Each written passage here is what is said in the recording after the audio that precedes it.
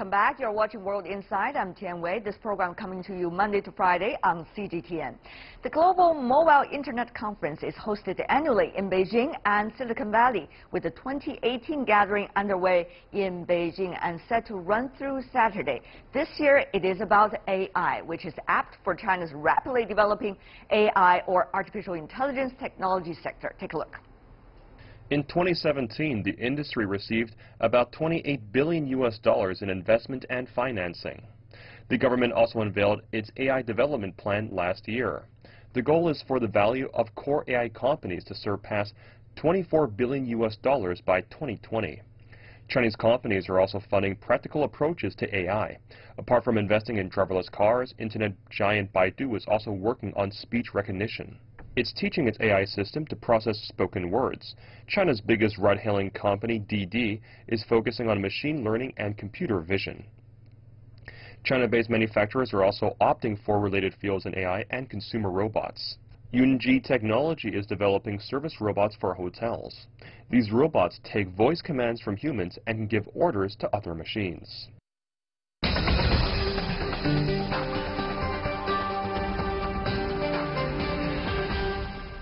For more on the Global Mobile Internet Conference, we have a very strong panel in Beijing. Andy Mok, who is the president of the Red Pagoda Resources. Welcome, sir, in Washington, D.C. We want to welcome Ernest McDuffie, the founder of Global McDuffie Group. And in Singapore, we are joined by Bart Selman, who is a professor of computer science at Cornell University and fellow of American Association for Artificial Intelligence. I want to welcome to the three of you. Let me go to you, Mr. Selman, first. Since you're a member of the Artificial Intelligence Committee in the U.S., some say this is a key word for attracting investment. Therefore, even pigs is already flying in the air as a result. You see a lot of uh, risks potentially over there. What do you think, Professor? Yes, uh, sorry, I, I missed one thing you said about the, the flying in the air. Was yes, they say we in China we say the flying pigs. Uh, the pigs are already flying in the air as a result of this beautiful wind of artificial intelligence. So mm. people say actually there's a lot of potential risks. Mm -hmm. Oh yes, uh, this is one of the important concern of the uh, artificial intelligence research community and the artificial intelligence organizations that, that oversee the research. Um, and we are having currently uh, so-called ethics and AI discussions uh, to look at these risks and to look at the role of humans uh, among intelligent machines and to try to make sure that these machines will do what we want them to do and will act in our interest. But, uh, but Professor, may I, just, uh, may I just, may I just follow up by saying that we don't even know how, the, sure. how that dark box works, so-called. Mm. You know what I'm talking about when it comes to artificial intelligence. So uh, how would you make sure that it's going to work on the ethical term? Uh, uh, is this empty promise or is this uh, wishful thinking? No, it, it, it, it is actually, it, there are things feasible. again, it is, a, it is a new field, but uh, we know things about, uh, we have quite a good understanding of ethics, of, of, of human uh, uh values, and so one thing we're looking at is you, you can only train a, a, deep neural net and, and it will do certain tasks and, and, it's hard to understand how it works. But you can still develop other technology around that neural net um, that will try to analyze does the behavior of the system stay within the desired boundaries. Mm. So it's a challenging problem, but it's, it's not an open uh, issue. Uh, you can actually put, put boundaries on these systems and analyze what they do. Uh, it, right. It's still in an early stage, but okay. I'm, I'm, confident actually that we'll get much better at that. All right, Mr. McDuffie, of course, the other people would argue that yeah. people talk too much about the danger and the challenge of artificial intelligence. It's not fair. It's just one form of technology. It really depends on how human beings are taking advantage of this technology. Do you agree with these kind of thinking and assessment? Yes, sure. The um, challenge of the new technology is the same with any new technology. It's how how it's used, how human beings uh, use the technology as it develops. Uh, with artificial intelligence, though, you're looking at a, a potentially new phenomenon uh, that the intelligence systems themselves will cross a threshold where they'll start making their own decisions about you know how they want to use themselves. There's a uh, the potential for the emergence of self-awareness uh, out of these systems that would take it completely out of our control. I think that that's probably the threat that concerns people the most. It's probably a ways off, um, you know, time-wise, 20, mm. 30, maybe 40 years or so. Uh, but I think that's the uh, the real threat. Mm. But on the other hand, the time stretch that uh, the other two gentlemen, Andy, have been talking about seem to be quite some time. Uh, but uh, during this process of some time, a lot of things could happen. And if the AI is developing with its own uh, logic, as well as doing things with its own so-called intelligence, actually we could face a lot of different scenarios even seen from today? Well, I think that's true, and I know I, it's true that some experts believe that these scenarios are decades away, but I think it's also important to recognize that AI is developing at an exponential rate, mm. and humans are notoriously bad at predicting that kind of growth. So we look at something like Moore's Law, where processing power doubles every 18 months, that people 30, 40 years ago, very few would have imagined that we would have a supercomputer in our pocket. Mm. And I do know that some uh, researchers and scientists believe that actually these developments in artificial intelligence are happening much more quickly than many people believe. Right. On the other hand, though, we do see case studies such as Facebook, uh, what Facebook has been facing its accusations, accusations coming to it, uh, you know, about the presidential election, about how through backdoor information of their clients are being lost, uh, and about how there has been a very vague boundary about uh, private information. Uh, Facebook, if it is facing that, the other networks and the other platforms are all facing the same problem.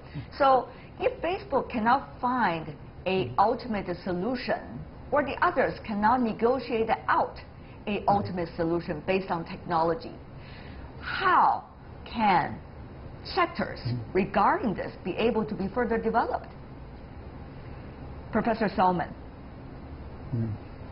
So, yeah, so I think you raise a very, very important point. Uh, in, in, my sense, we, we don't even need full artificial intelligence to already see some, some real difficulties emerge, and Facebook is an example of that. A lot of the problems with Facebook are caused by algorithms that drive news distribution, that drive uh, the distribution of information, that are not fully understood by the humans that even were running Facebook, were, were somewhat surprised by what Facebook was spreading about uh, in, in, terms of news, etc. So one direction we're seeing is we're trying to now develop AI type technology, machine learning type technology to try to control that type of flow of information. I would stress these, these algorithms are actually not particularly smart. They're just very general mm. and very widespread. Um, so I think humans will have to start uh, coming to terms with the fact that these new network of information systems, these connected computer networks, are giving us new opportunities but also risks uh, that we have to understand better. Mm. And, and they're not even that smart, they're just very powerful. But here's the thing, Mr. McDuffie, you know and what I am talking about because you're working. Yes, mm -hmm. Mr. McDuffie, you know what I'm talking about because you're working on the security issue a lot over the decades. So here's the thing, you got a lot of talents jumping themselves into this big pool of developing AI and the application of AI because it, that's where you know they're fascinated about, and that's where the money comes from. And that is where the public would go, you know, for all these interesting fascinations. Uh, but on the other hand, when it comes to security, when it comes to legislation, uh, these are all dirty works. Not many people will be fascinated about. And sometimes you really wouldn't really, you know, attract much applause, even if you have already achieved something. So, Dr. McDuffie, how should we see these two now, two very different phenomena going on at the same time. Is there a way to make it happen, and make it happen in the right way? So, yeah, you're absolutely right. There are a number of uh, phenomena that are occurring simultaneously, and the interesting aspects are where they intersect. Uh, you mentioned cybersecurity and artificial intelligence. There's actually a lot of uh, research and uh, applied research in, in that intersection going on right now around the globe where you're going to apply the tools of AI uh, to the problems of uh, cybersecurity to help uh, mitigate uh, those issues. So there's, there's actually, you know, part of the so technical solution for cybersecurity comes from marrying the uh, latest AI techniques with the huge amount of data that's being generated globally that mm. affects uh, security and all kinds of aspects. So again, there's, there's positives and negatives out of what can come out of the technology. I, I think the most important thing that we can do from a, a legislative uh, uh, perspective or right. from a national perspective is to be aware of the global nature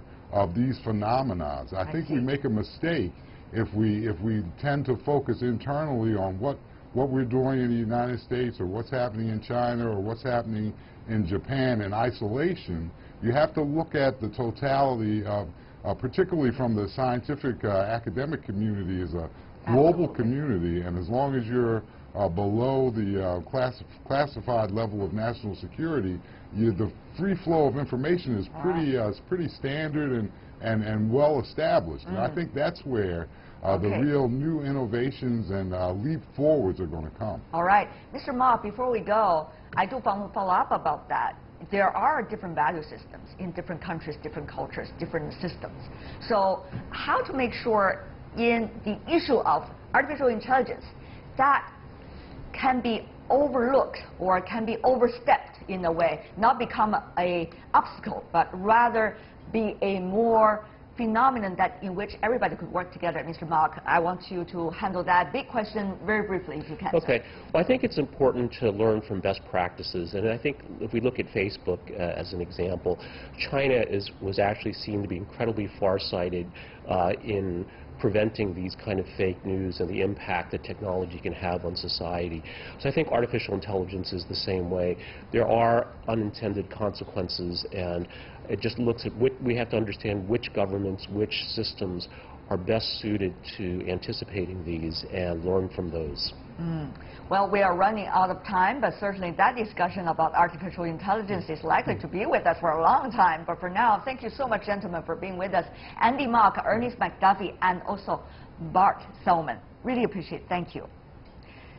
And that is all the time we have for today. If you'd like to see more, try to find us World Insight CGTN into your search engine or check out our YouTube channel. Follow us on Twitter, Facebook, and Sina Weibo. From me, Tian Wei, and everyone on the World Insight team, thanks for watching. Tune in again next time for insights across China and around the world. Good night.